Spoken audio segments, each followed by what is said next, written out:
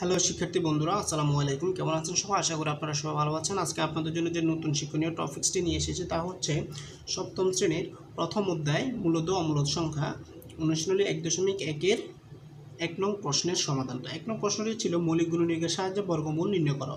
তো আমাদেরকে কোনো সংখ্যার বর্গমূল নির্ণয় করতে হলে তিনটি ধাপে বর্গমূল নির্ণয় করতে হবে। তো আমরা প্রথমে প্রথমে আমরা ধাপগুলো জেনে রাখব, যাতে আমরা সহজে বর্গমূল নির্ণয় করতে পারি। তো আমাদের প্রথম ধাপটা হচ্ছে, প্রথমে প্রদত্ত সংখ্যাটিকে মৌলিক গুণনীয়কে বিশ্লেষণ করতে হবে।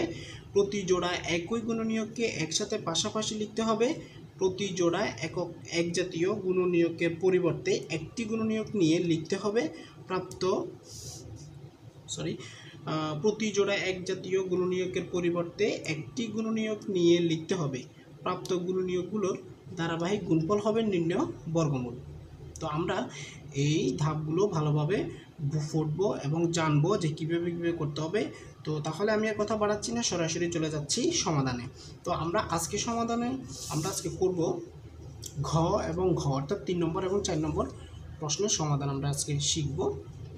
তো আমাদের এখানে প্রথমে গণ প্রশ্ন ছিল পনেরোশো একুশ সমাধান। পনেরোশো একুশকে আমরা প্রথমে ছোট থেকে মৌলিক সংখ্যাগুলো দিয়ে বিশ্লেষণ করার চেষ্টা করব। তো আমরা প্রথমে এক এবং দুই দিয়ে আমরা পাচ্ছি না। তো সুতরাং আমরা তিন দিয়ে দেখছি। সে তিন দিয়ে যাচ্ছে। তো তিন দিয়ে গেলে আমাদের এখানে এই আমি বিশ্লেষণ করে বুঝিয়ে দিচ্ছি। আপনারা একটু খেয়াল করবেন। তিন পনেরোর মধ্যে যাবে তিন পাঁচা পনেরো, অর্থাৎ দুইবার। সরি পাঁচবার যাবে, তিন, পাঁচ, পনেরো। এরপরে আছে এখানে দুই দুইয়ের মধ্যে যাচ্ছে না, তাহলে আরেকটা সংখ্যা নিলাম, কত হলো? একুশ। যেহেতু দুইটা সংখ্যা একসাথে নিয়ে নিয়েছি সেই জন্য এখানে একটা শূন্য বসালাম। তারপরে দুইটা সংখ্যার মধ্যে তিন যাবে সাতবার তিন, সাথে একুশ। তাহলে আমাদের এখানে পেয়েছি কত? পাঁচশো সাত। এবার পাঁচশো সাতকে আবার তিন দিয়ে বিশ্লেষণ করলাম। এখন তিন, পাঁচের মধ্যে যাবে একবার, তিন একে তিন, এখানে থেকে যাবে আর দুই দুই, দুইটা, একের আগে বস, শূন্যের আগে বসালে কত হবে? বিশ। বিশের মধ্যে তিন যাবে ছয়বার, তিন, ছয়, আঠারো। আরও থেকে যাবে এখানে দুই। এখন দুইটা, সাতাশ সাতের আগে বসালে হবে কত? সাতাশ।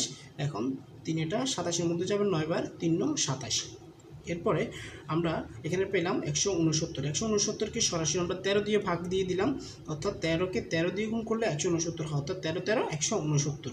সুতরাং আমরা এখানে পনেরোশো একুশের গুণনীয়কগুলো পেলাম তিন গুণ তিন, তেরো গুণ তেরো, অর্থাৎ অর্থাৎ তিন গুণ তিন এক জোড়া, তেরো গুণ তেরো এক জোড়া। সুতরাং আমরা দুইটা জোড়া এখানে পেয়েছি, তিন এবং তেরো। সুতরাং সুতরাং পনেরোশো একুশের বর্গমূল, পনেরোশো রুট পনেরোশো একুশের বর্গমূল হচ্ছে তিন এই এক জোড়া থেকে একটা সংখ্যা এই এক জোড়া থেকে একটা সংখ্যা। তা এখান থেকে তিন, এখান থেকে তেরো। তো তিন গুণ তেরো, তিন তেরো, উনচল্লিশ। উত্তর আমাদের উনচল্লিশ। এরপর আসেন চার নম্বর প্রশ্ন যেটা, চার নম্বর প্রশ্নটা রয়েছে, এগারো হাজার পঁচিশ, সমাধান এগারো হাজার পঁচিশকে আমরা বিশ্লেষণ করব। প্রথমে তিন দিয়ে আমরা শুরু করেছি, তিন তিন এগারোর মধ্যে যাবে, তিনবার তিন তিরিকা নয়, দশ এগারো আরও দুই থেকে যায়, দুইটা শূন্যের আগে বসালো বিশ, বিশের মধ্যে তিন যাবে ছয়বার তিনশো আঠারো হাতে আছে আরও দুই, দুইটা দুই এর বসালো হবে বাইশ, বাইশের মধ্যে তিন যাবে সাতবার, তিন সাথে একুশ, আরও এক থেকে যায়, এক একটা পাঁচের আগে বসালো পনেরো, পনেরোর মধ্যে তিন যাবে পাঁচবার, তিন পাঁচা পনেরো। এরপরে আসেন ছত্রিশশো পঁচাত্তরকে আবার তিন দিয়ে ভাগ দিলাম আমরা। তিন দিয়ে ভাগ দেওয়ার পরে তিনের মধ্যে তিন যাবে একবার, ছয়ের মধ্যে তিন যাবে দুইবার, সাতের মধ্যে তিন যাবে দুইবার, আরও এক থেকে যাবে একটা পাঁচ, আর এক বসানো পনেরো, পনেরোর মধ্যে তিন যাবে পাঁচবার। অর্থাৎ ছত্রিশশো পঁচাত্তরকে তিন ভাগ করলে বারোশো পঁচিশ পাবো।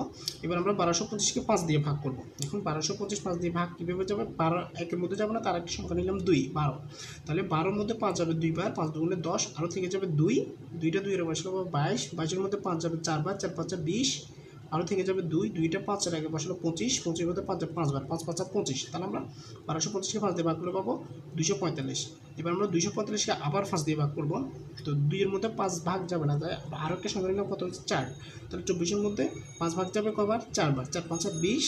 তাহলে এখানে চব্বিশ থেকে বিশ গেলে আর থাকে চার। চার একটা পাঁচের বছর পঁয়তাল্লিশ। তাহলে পাঁচ এটা সাত, পঁয়তাল্লিশের মধ্যে ভাগ যাবে পাঁচ এটা পঁয়তাল্লিশের মধ্যে পাঁচ যাবে নয়বার পাঁচ নং পঁয়তাল্লিশ। তাহলে আমরা পাচ্ছি কত? উনপঞ্চাশ এবার আমরা উনপঞ্চাশকে সাত দিয়ে ভাগ করব, সাত সাতা উনপঞ্চাশ এরপর আসেন, এখানে এগারোশো পঁচিশ সমান তিন গুণ তিন, পাঁচ গুণ পাঁচ এবং সাত গুণ সাত।